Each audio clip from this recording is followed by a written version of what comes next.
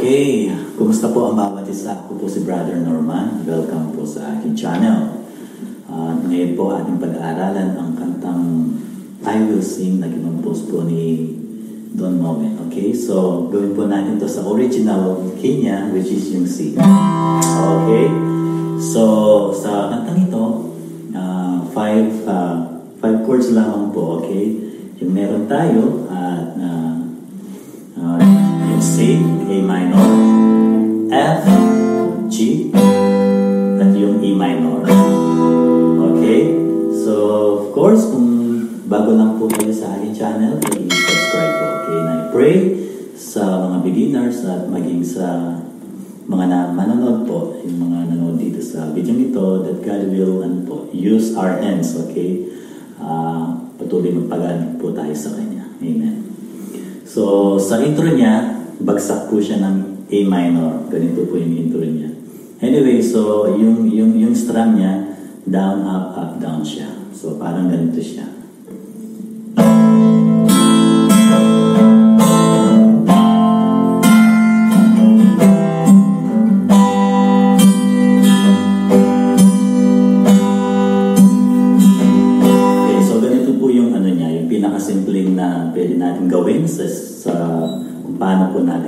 I-strum, okay? So, yun po yung, ah, yung, yung, yung intro kanina, bagsak siya ng A minor. F, C, G. Okay, so gawin po natin yung verse. Ah, yung verse niya, bagsak din po siya ng A minor. You seem Tapos F, a million miles and more. Six siya doon, magsisi siya sa more. It feels today. So, sorry nga po pala sa boses ko. Hindi ako ganun na, hindi, wala po akong magandang boses. Pero, ah, the important thing po is, ah, ma, maituro ko po ito. Okay? Ah, so, sana po tayo dun sa today, di ba? Tapos bagsak siya ulit sa A minor. And though I have lost my faith, I must have siya doon. Confess right now. but siya sa C. That is hard. So magiging G siya dun sa heart. Heart. C. Diba? Tapos dun sa pre-chorus, because I don't know what to say. So F siya doon. C siya. And I don't know where to start. Tapos F ulit. I should give the grace.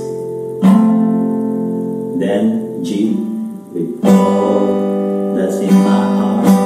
Yan, so ganun po yun, okay? So magiging chorus na naman. Ganito yung chorus niya. C. I will sing. So, she siya, C siya dyan.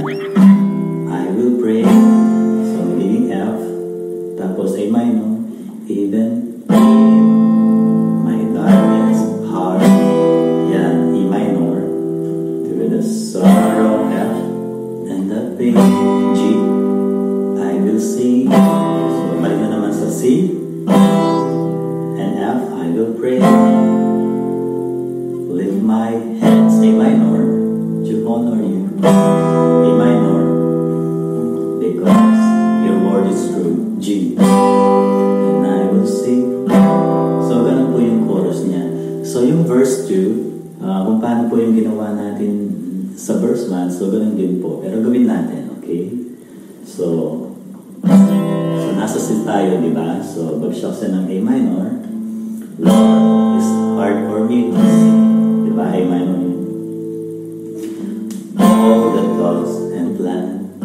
So, C siya dyan. You have for me. G. Tapos, A minor ulit. But I will put my trust in you.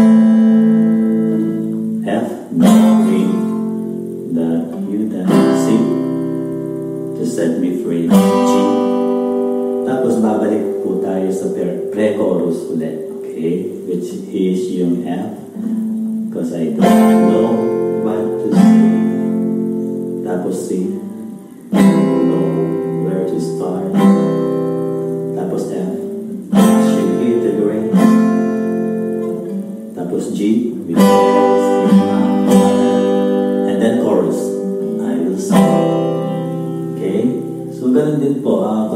lang siya. Wala pong nagbago dun sa, ano, wala po siyang braids. Ah, simpleng-simpleng kanta at ah, na pwede natin pong gawin. Of course, yung C, madali po yung C, open string siya. Ah, hindi po tayo gumamit ng kapo, okay? So, I will, ano po, ah, post yung ipa-plus bago po ah, ah, mamaya yung lyrics and chords, ah, original, okay, na, na key, yung pinag-aralan natin ngayon para pwede nyo pong i-screenshot at pwede nyo pong i- isabayan um, uh, while you playing po yung original song, okay? So, I'm hoping po na may matutunan po tayo at um, let's keep praying and uh, and uh, continue to use our lives po sa ating Panginoon. Okay, be blessed. Salamat po.